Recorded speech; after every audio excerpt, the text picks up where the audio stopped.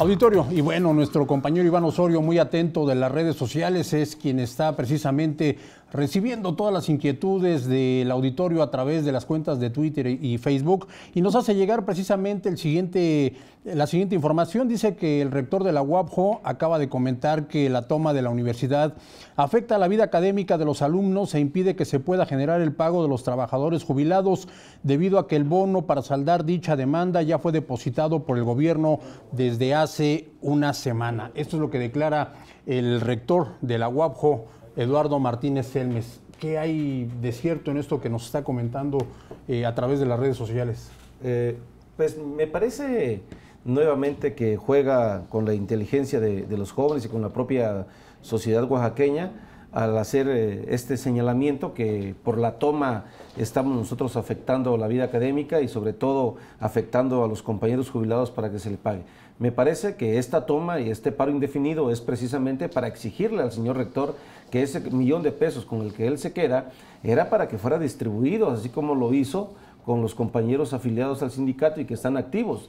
Debió haber emitido los cheques a los compañeros jubilados y hoy no tendríamos quizás este problema. Pero además sí es importante este, puntualizar que a la cuenta donde se depositó este, este recurso por parte de la universidad y los compañeros fueron al banco a querer cobrar el cheque y hacer efectivo esta cantidad, era una cuenta embargada.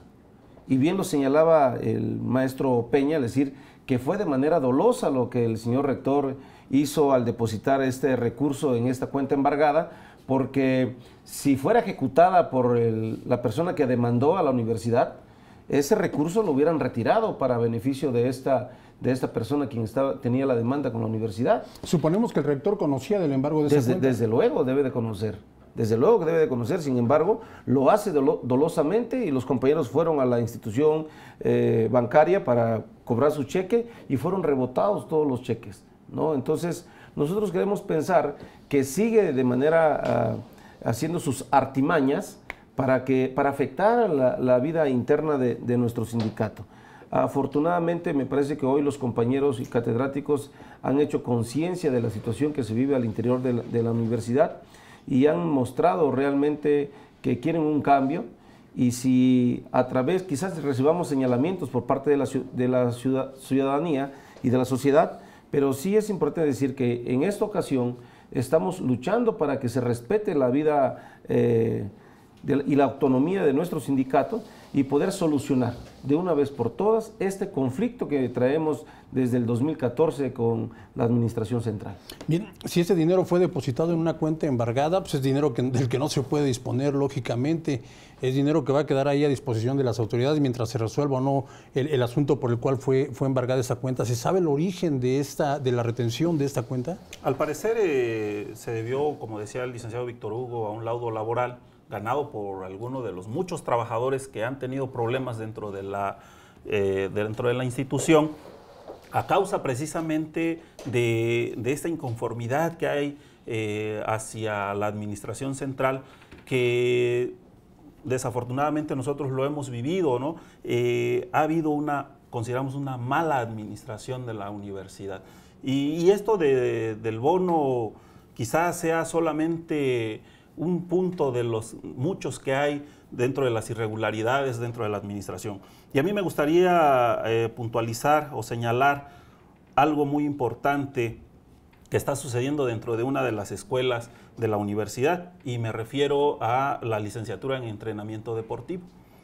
En esa licenciatura en entrenamiento deportivo hay, hay un personaje que por más de 12 años ostenta la dirección de, de esa licenciatura y bueno, es un personaje muy allegado al rector, que posteriormente los alumnos, ante tantas irregularidades que se dan, precisamente porque este señor, eh, al tener la protección de la administración, hacía y deshacía dentro de esa licenciatura, bueno, los alumnos se inconforman, logran la salida de, de este señor y no obstante eso, bueno, el rector vuelve a nombrar a otra persona, a otro incondicional de él. Y con eso viene en cascada el despido de un sinnúmero de trabajadores, de maestros, académicos. Y solamente quiero señalar un caso, el doctor Alejandro Miguel Velasco. Es un médico reconocido, Es un médico que tenía la materia de rehabilitación en entrenamiento deportivo y de la noche a la mañana lo despiden para darle esa clase a una persona de nacionalidad extranjera, pero que muy allegada hacia, la familia, hacia la familia del señor rector y sin tener el perfil, vamos sin ser médico, da la materia de rehabilitación. Entonces creemos que ese es un puntito solamente de las muchas irregularidades que hay dentro de la administración. Y dentro de estas irregularidades se habla que poco menos de 270 profesores trabajan de tiempo completo dentro de la universidad. ¿Cuál es el mundo académico? Eh, ¿Cuál es el padrón de, maestros dentro de la UAPJO? Y de estos, ¿cuántos realmente están de tiempo completo? Esta es una de las deficiencias que se presentan precisamente y que redunda en el tema educativo. Evidentemente, en el Sindicato de Trabajadores Académicos de la Universidad de Oaxaca, son muy pocos los maestros que ostentan eh, un tiempo completo. La mayoría somos maestros de hora clase. Nuestro padrón abarca los 870 afiliados aproximadamente del sindicato. De, parte del Estado. De parte del Estado. En ese nosotros podemos hablar del Estado, que es el sindicato al cual pertenecemos. Creo que en esta parte eh, eso debería ser una preocupación del ciudadano rector. Proponer ante la Secretaría de Educación Pública una plantilla reconocida de los docentes universitarios para que mejoren las condiciones laborales y se mejore la infraestructura educativa de la universidad. Se preocupa nuestra autoridad universitaria por andar en politiquería y andar en desplegados que tratar de armar una estructura de docentes que puedan lograr con un acuerdo de trabajo administrativo y con la Secretaría de Educación Pública. ¿Por qué en el tercer año de gestión no tenemos tan siquiera esa probabilidad o posibilidad de que los docentes universitarios sean reconocidas su plantilla ante la Secretaría Federal mencionada? Qué barbaridad. Y bueno, lo que nos comentaba eh, precisamente Gilberto hace algunos instantes, el retiro de este profesor Alejandro Miguel Velasco del área de medicina deportiva. Eh, sí, específicamente en la licenciatura en entrenamiento deportivo. Entrenamiento deportivo. Entrenamiento deportivo. Bueno, eso nos habla de intereses muy, muy fuertes dentro de la misma universidad. Eh, se habla también de casicazgos al, interior de la máxima casa de estudios. Hay que recordar, por ejemplo, el, tema de Naum Carreño Vázquez, un hombre que durante años también ejerció poder absoluto dentro de esta institución. Eh, Abraham Martínez Alavés, por ejemplo, otro hombre al que también se le ha considerado cacique dentro de, la Universidad Autónoma Benito Juárez de Oaxaca. ¿Hasta dónde el poder de, estos, de estas personas, de estas figuras, eh, hace daño a, la vida educativa? Pues nosotros hemos exigido en reiteradas ocasiones a las diferentes estancias, a la propia Administración Central, que si es bien cierto, eh, existe un casicazgo dentro de la, universidad por ciertas familias, deberían ya de estar desapareciendo.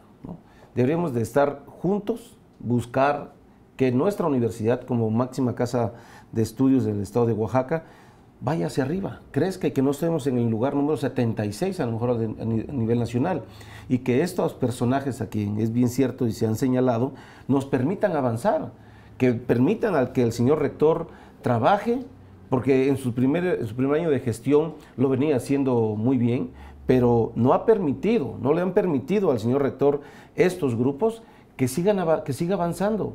Y en vez de apoyarlo, lo entorpecen en su administración, ¿no? Y bien lo, bien lo decía, no parece que fuera el señor rector quien está administrando, sino que fuera el papá del señor rector quien estuviera al frente de, nuestra máxima casa de estudios. ¿Les da la impresión de que Abraham Martínez a la vez tiene las manos metidas dentro de la universidad? Sí, desde luego, desde luego. Este, él fue quien gestó el, problema, el conflicto que se, que se vive aún todavía y que no se resuelve en su totalidad de la escuela de, de enfermería. Y esto viene de muchos años atrás, de un proceso, de un conflicto entre la mamá del señor rector, con este, otros personajes de enfermería y que bueno, es un asunto que a los, a los únicos que se están afectando son a los jóvenes estudiantes. Nosotros hemos pedido y hemos exigido que saquen las manos ya del conflicto universitario, que le permitan que sea la planta docente y los propios estudiantes con la administración central poder construir un nuevo futuro de la universidad. Hoy lo exige la sociedad. Eh, sin embargo, y es lamentable, como bien lo, quiero señalar, que eh, tanto el doctor Abraham como otros personajes dentro de la universidad eh, siguen todavía activos. Ya están jubilados, pero hacen presencia en, la universidad, cobran dentro de la universidad. Y eso es un mal que, que aqueja y que aún se ve como resultado de la intromisión de estos personajes, que nuestra facultad, en vez de avanzar, vayamos retrocediendo y como eh, daño a la universidad, pues vemos que otras eh, particulares están, están creciendo dentro del eh, nivel de, licenciatura en el estado de Oaxaca. Licenciado Víctor, vamos a una pequeña pausa. Este es muy breve auditorio. Estamos en Espacio Ciudadano transmitiendo a través del canal 143 de cable. Vamos y regresamos.